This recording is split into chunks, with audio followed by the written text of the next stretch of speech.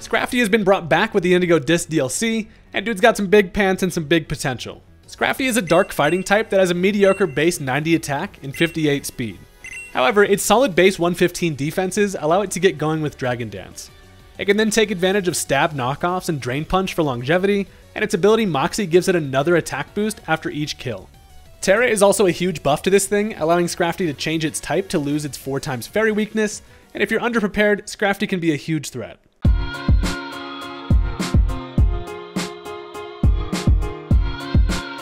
Alright, so look, Scrafty takes the idea of never using a belt pretty seriously. They also told me they take pretty seriously the fact that you should hit that subscribe button if you're new to the channel, and then nobody gets hurt. Today, I have a super interesting match for you guys. Let's go ahead and jump into it. So my opponent is going to go ahead and lead off with the Blissey. It's never a bad time for breakfast, and it looks like we're getting some scrambled eggs out here. And I decide to lead off with the Excadrill. I want to prioritize getting Stealth Rock up here. My opponent, they do have a very scary team, and if I can start to chip away with the rocks, I kind of want to want to get these up for sure. So Blissey doesn't really have a whole lot of business being here, but if it's a lead, it's probably Stealth Rock. I'm not really afraid of this thing. And we are going to, in fact, just end up trading the Stealth Rock, which I'm really not worried about because, you know, Excadrill does have uh, access to Rapid Spin, and overall, Blissey's ass is late for her shift at the Pokemon Center, so I imagine this thing is probably going to get out of here. However, I just decided to go for that Iron Head. Now, I know that the only thing that really wants to switch in here is going to be this damn thing. The Keldeo, My Little Pony looking ass, comes in, and the Iron Head, after Stealth Rock Chip, not going to do a whole lot. I probably should have clicked the Rapid Spin, but again, I didn't know if dude was working with some crazy Blissey bullshit. So, this is honestly fine. I figure I actually don't have a lot that wants to switch into Keldeo, but I do, in fact, have a Vileplume, and depending on kind of what this thing's working with, I can come in here, I can pressure it with the threat of like a Sleep Powder, and overall just kind of get some, some intel about what old pony's working with here. So I bring in the Vileplume, and this thing is just going to go right for a flip turn. They make a nice little pivot predicting a switch, and now they get a matchup against my Vileplume, which is not really ideal. And this is going to end up bringing out one of the scariest threats against my team, and that is the Hisuian Arcanine. Statue Boy comes in looking like a good boy. However, I have basically nothing that wants to switch into this, and we have a little bit of a situation here where a lot of the time you see this, it's going to be choiced in some way, whether it's Scarf or if it's Band. I decide I'm going to stay in here and try to go for a Sleep Powder. If it's Choice Scarf and goes for a Head Smash, I actually live. So I stay in because I don't really have a better choice, and a Head Smash is going to take care of the Vileplume. I'm almost max defense on this thing, but most importantly, the Effect Spore actually comes in and gives this thing a Paralyze right before we go down. So that's actually super clutch. I bet you wish you did not touch the flower now, buddy. We smell like shit and we paralyze you. That's what Vileplume does. But the other good news is seeing that that head smash kills, it actually, it puts me in a spot where now I know this thing is going to be choice band. It's stuck in the head smash and now Excadrill comes in pretty safely. So now I can go for a rapid spin, get rid of their Stealth Rock, and Arcanine does have to get out of here. So that thing being paralyzed is great because I know, you know, Excadrill easily outspeeds since it's not Scarf. Um, they predict the Earthquake here, and they're going to end up bringing in Tornadus with his nice little purple bra. I go for that Rapid Spin. It chips this thing down below half, which is amazing, but also gets me a nice little speed boost to the point where now I'm actually faster, and then I can go directly for the head smash, and that's going to take care of the Tornadus. So we're actually feeling pretty good at this point. Excadrill is zooming. We take care of a big threat. And after that speed boost from the rapid spin, I'm actually in a spot where I'm faster than pretty much everything. So, on the revenge switch, they decide to go into Keldeo, and I'm feeling like, okay, this is fine. I have enough damage to where an Earthquake should kill here. I'm faster, and Uno reverse on my ass. It is going to actually go first with the Sacred Sword, and that reveals this is going to be a Choice Scarf pony, so that does in fact kill my mole, and at least I'm figuring out kind of what they're working with here, but paying the price, you know, for losing some mons. So, while Excadrill goes down, this does open up an opportunity for a nice little revenge switch, and I decide to go into Primarina. Scuba Steve is out here looking manly, and while I do win this matchup, it likely draws in a special wall, and they have a Cresselia sitting right there. So what I'm going to do is actually end up making a switch here, predicting them to switch into Cresselia or the Latios, but Latios probably doesn't come in here. However, they do end up switching into Cresselia, and the Moonduck is in for a rude awakening because we are met immediately with a, you know, a hoodlum with his pants sagging, and this actually puts me in a fantastic spot in terms of momentum. Now,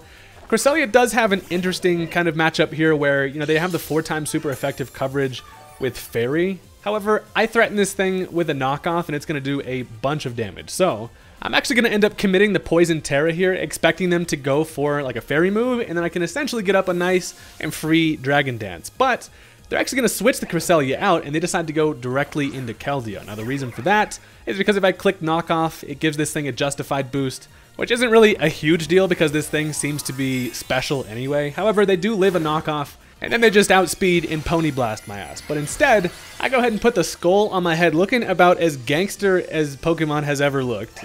I can't even believe the size of the Tera hat on my dude. It looks ridiculous, but I now get a free Dragon Dance up, and I'm in a spot where since my base speed isn't super high, a Keldeo with a Choice Scarf is still going to outspeed me, but the good news is we got hella defense and we are ready for this. So they are going to outspeed. They hit me with the Hydro Pump, and that's the best damage they have. Knocks me just below half, and I'm just like, hey, go ahead and uh, give me that back. I drain him with the Fist, down goes the Keldeo, and we get ourselves back to a respectable amount of health. Luckily, this thing doesn't have any coverage on poison, so at least super effectively.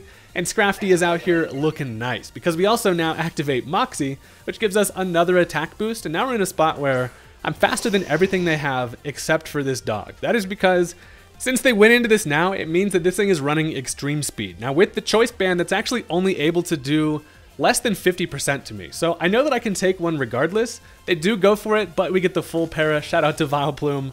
And now we can just punch this thing right in the face, and that is going to end up taking care of the Arcanine, which now we're snowballing because I'm now at full HP, and my attack stat is going crazy and just actually even gets worse because of the Moxie. So down goes the Arcanine. Now the important thing is the remaining three Pokemon that they have left do not enjoy Scrafty and cannot really do anything. So they now decide to go into Latios, who does have a type matchup here. However, I am in fact faster, and a knockoff just absolutely obliterates my dude. However, they're actually just gonna run, which I don't blame them because there is essentially no hope at this point. And while you may think their three remaining Pokemon get away with uh, without the sweet release of death, you would be incorrect because we do have technology. So like I said, Latios gets in fact turned to dust from a knockoff, and that's going to take care of that thing easily. Now our next victim is going to be our Blissey we saw from earlier, and finally it's time to eat them eggs. I can go for a Drain Punch, absolutely destroy this thing and get the protein out of it. And last but not least, Cresselia's annoying ass gets to come in and get knocked immediately out, like I'm Mike Tyson out here, and that's going to do it. However, just because this team is super fun, I do have a second match here for you. If you enjoy these types of videos, make sure to hit that like button. It really does help out the channel. This next game, we have an interesting team that seems like it has a little bit of a kind of a rain mode, and overall some pretty scary threats. Let's jump into it. So this time, Willy Wonka over here is going to lead off with the Ribombee. As I decide to toss out the Excadrill, it's a fantastic lead in a lot of positions, especially here because I know this thing is basically, it's here just to set up that sticky web, and I can just spin that shit out of here. So I'm just to go right for the Stealth Rock, as they do lay down the, uh, the nice little layer of the sticky webs, which Excadrill says that is totally fine. I'm just to be over here just laying down some Stealth Rock, just having a nice little little mole time in the sunshine out here.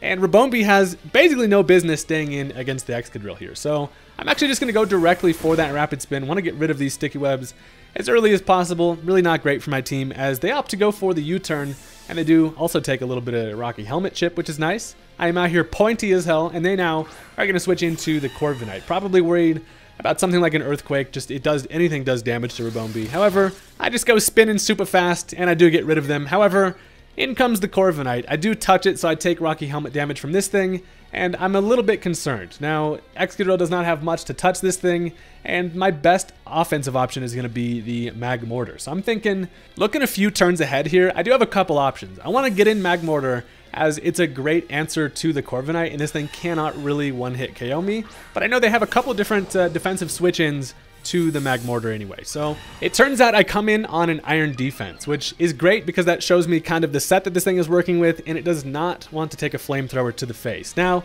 this Magmortar is rocking with the Solar Beam along with Tera Grass. Now, I imagine they probably go into something like the Politoed here, but I'm going to play it safe and just go straight for that Flamethrower in the case they just didn't want to, like, wanted to tear the, the Corviknight or something, didn't want to get rid of that defense boost. I just go for the Flamethrower as in comes the Politoed. So Flamethrower in the rain is, you know, not going to hurt very much as the, the rain, you know, weakens the fire damage. I do, however, get a burn, which is nice. It, probably a confused ass frog coming in and getting burnt immediately in the rain. But I'm going to make things even more confusing here because I'm going to go for the Tera Grass, plus go for that Solar Beam. Now, ordinarily a two-turn move, I am rocking the Power Herb to be able to get it off immediately. Now, the Tera Grass works in my favor in both ways, in that now I have a defensive uh, typing to be able to handle whatever this thing wants to throw at me, whether it's Scald or whatever. Uh, so I put the flower on my head looking beautiful, and I can go for that Solar Beam. However, the bad news about using Solar Beam in the rain is that Rain actually halves the damage from Solar Beam, but this is still my best option here. I'm going to go for that Power Herb Solar Beam.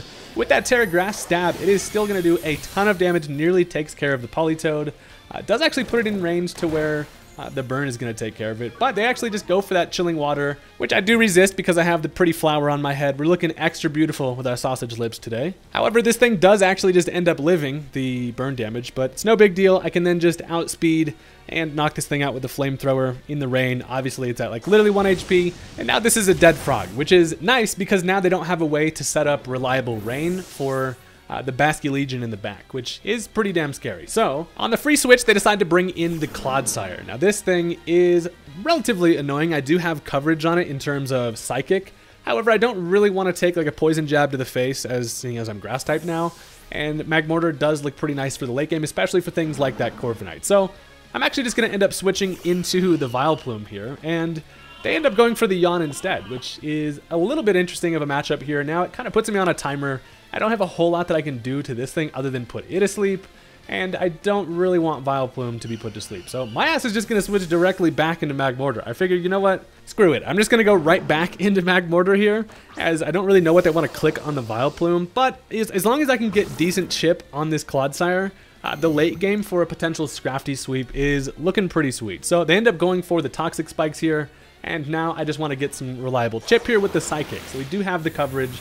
Uh, it's actually also going to do a nice little chunk to the Clodsire here. Brings it below half. Sadly, though, I do have to take a Poison Jab with his crazy spikes on the back of his back, and down goes the Magmortar. So this now allows me a switch, and with that amount of damage that I had, I'm actually in a pretty decent spot here, as Clodsire uh, is one of like the, the, the, big kind of defensive Pokemon I got to get through, other than the Corviknight. But I can go back into the Vileplume, and what I want to do here is put this thing to sleep before it has a chance to yawn me. So I do go for that sleep powder, and it's going to put him into a nice little naparoo. So, with this thing asleep, I have a couple different options. Obviously, Vileplume doesn't have the greatest matchup here. Being able to like Giga Drain it isn't isn't going to really cut it, but I'm going to use this as an opportunity to try to get the Scrafty going. So with this thing asleep, I can bring in Pants, and uh, even without a belt, we are still swagging out out here, and I do want to try to get some Dragon Dances up going here with this Graffiti. So I figure Sleeping Clodsire kind of is my best option to, to bring this thing in. It does, in fact, however, wake up on first turn and goes for a yawn. So I'm like, damn it, that could not have been worse for me. However, knowing that I actually have the Lum Berry, I'm going to wake up as soon as I fall asleep. So I can use this opportunity to set up a Dragon Dance. I'm dancing right before we go to sleep. And uh, I don't know how, I guess we're kind of a little lizard guy, half dragon. I don't know. I'm just a little dude and some crazy pants with dancing with like I got ants in my pants. And they do go for that poison jab. I then fall asleep because of the yawn, but then this Lum Berry is like, no, no, no. You're actually...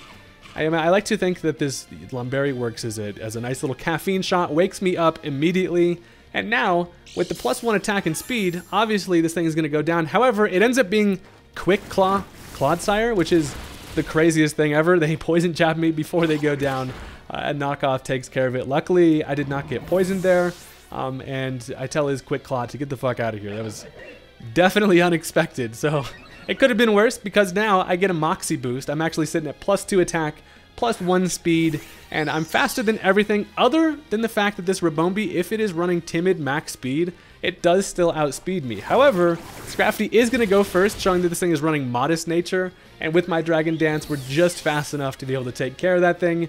Down goes the Ribombee, kind of my biggest threat at this point, and we are just starting to pile it on with the Moxies. We are looking quite scary. We're see, sitting at plus 3 attack at this point. And now the only thing that can really stop me is going to be this Corviknight. However, I've had so much Moxie at this point that a nice little stab Drain Punch is actually going to take care of a defensive Corviknight. And not only are we in an insane spot, Drain Punch just puts us like pretty much back to full. We do take some, you know, Rocky Helmet chip, but we've successfully got this Scrafty going to the point of essentially no return. We get another Moxie boost just because we're just evil at this point. And they do have two Pokemon left. One of them is going to be the Sinistcha. This thing is floating extremely high, and this is an annoying defensive Pokemon, but with the amount of attack we have, we also have the Stab knockoff, and that is going to be some dead Jello. So down goes the Matcha Tea, and their final Pokemon is going to be the Basculegion. It also does not have the benefit of the rain, and also now it has to stare me in the face with like plus 100 attack. And Scrafty is struggling to keep my pants up, but not struggling to, to grab this W. As you know, in comes the Basket Legion. They have not committed the Tera yet at this point. However, I have just so much attack that it probably really does not matter. I just go for the stab knockoff. It's super effective. They are actually going to end up committing the Tera here. Um, however, Willy Wonka is just going to go for, for the uh, the Bug Tera here. And that is not going to save you because Scrafty is an absolute beast who be stepping on bugs on the daily out here as long as we're not tripping over our pants. So Knockoff is going to finish off the game. That is going to be the end of it. And I thought that was pretty fun. Scrafty can truly get out of hand quickly. Any Moxie sweepers are extremely scary. And plus, with this thing's defensive capabilities, it's it's a damn menace. So that's going to do it. Thank you guys very much for watching. I really do appreciate all the support, and I will catch you next time. Also, shout out to this dude's username.